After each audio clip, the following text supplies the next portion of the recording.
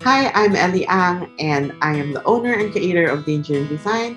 Today, I'm going to show you a few tips and tricks on how to get started on your Etsy journey or selling yourself online in Etsy.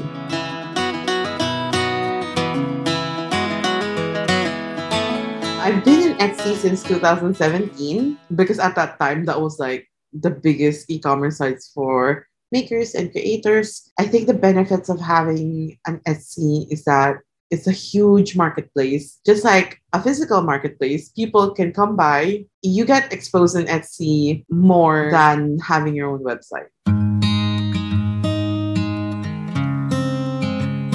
So, in order to start your Etsy shop, you got to make your account. Making a shop in Etsy doesn't cost anything until you start putting up your products. Well, before you start doing that, you have to be ready with your branding, your shop name. So that includes a banner. And then I have my shop image and then my logo. You also need your brand, also a description of your shop, you got to be prepared with photos of your listing. So make sure that your photos are clear.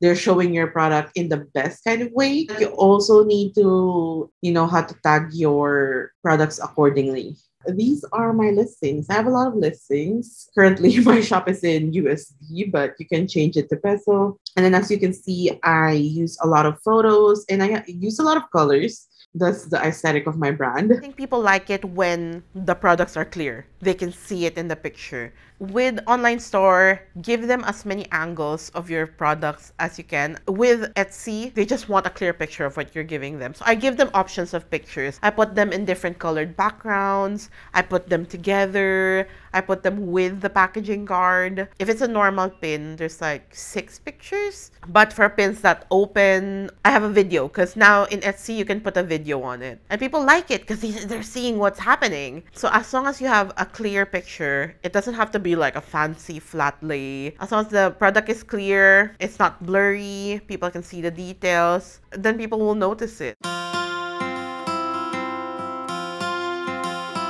For finance, for fees and stuff like that, the very main thing you have to remember is you have to balance your shipping and your price.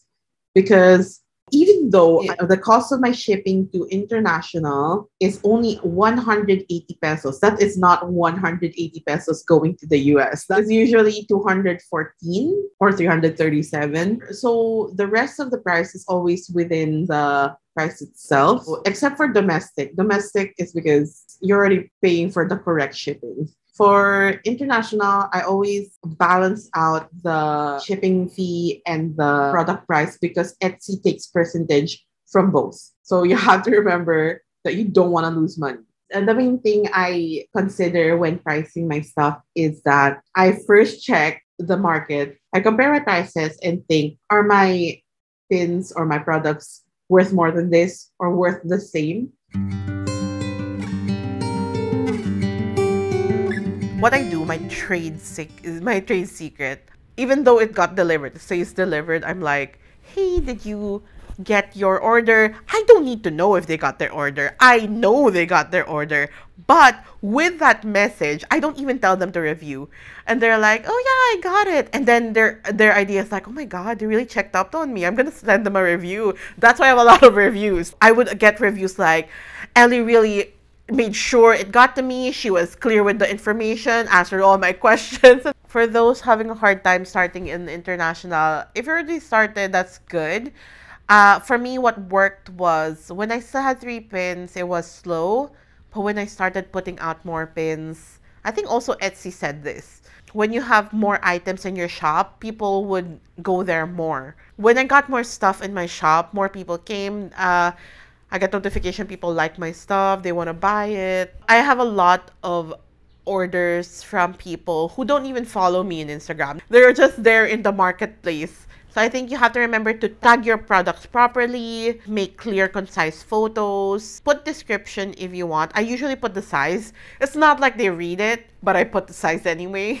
They like it if you put cute stuff on your your packaging. I put my dogs because I have a stamp of my dogs, four of them. I got it made by a local artist. Um, and I put it on my mailer, and they're like, "Oh my god, the packaging is so cute." I know a couple of local makers who have their own websites already, but that's because they've already been online for a while. So if you're starting, Etsy is a good place to start internationally because you don't have to worry about UK and EU, European Union. Etsy will shoulder those codes for you and you only have to follow whatever Etsy say. I really believe that our artist has the ability to sell internationally. And I know it's scary. It's scary to deal with the post office. You don't want to deal with the post office, but it doesn't have to be just the Philippines. And if you still haven't started your online shop, starting local is always good.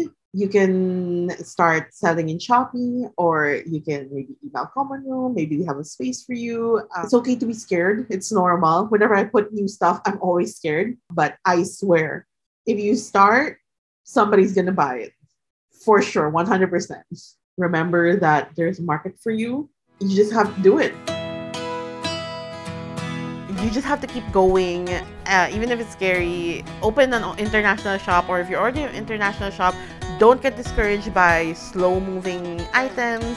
Don't worry about things you can't control, but put your energy and your effort on things you can control.